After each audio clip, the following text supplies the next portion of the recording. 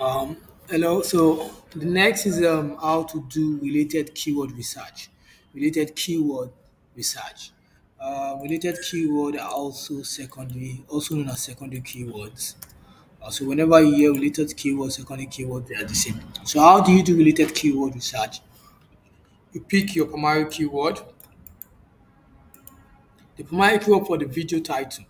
So let's go to my video. Uh, So this is the title, this is the primary keyword. So I'll pick the primary keyword, go to Google with the primary keyword, put it here, put it in the search box, then search. Once you search, you have to scroll down to the bottom where you have related searches or additional searches. This related searches. So you copy the suggest whatever they've given you here. Right click, you highlight. Just highlight old, then you right click, copy, go to your notepad, paste,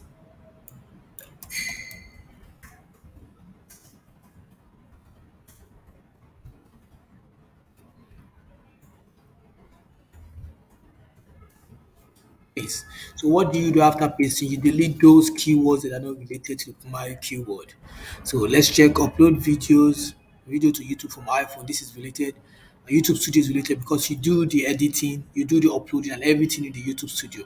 How to upload video on YouTube? uh, This is related.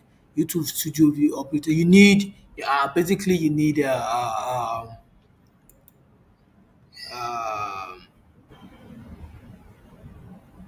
you can get uh, basically you can get up to um, depending on your uh, dis- determ- depending on your on your description. If your description is not long, and if you know you can use most of these um, keywords naturally on the description, you can get as much as you like. And you can get up to um, more than four. But what you need is um, three to four. Three to four is okay. So let's get this is okay, this is okay, this is okay. I might not go for this because we already have YouTube Studio here. So one, two, three. This three is okay, but let me check the rest. I don't need this. I don't need this. I don't need this. Um, from Android phone, iPhone, from phone. I might like this four. So three to four is okay. Three to four is okay.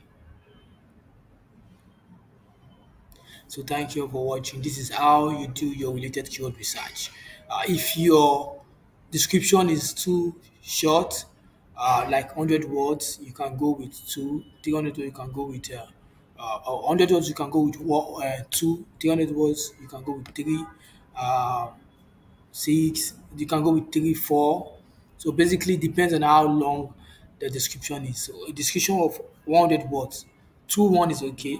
Uh, so let's just start with the maximum of two to four uh, secondary keywords for your YouTube description or your YouTube um, text. So thank you all. We're done. So put pass here.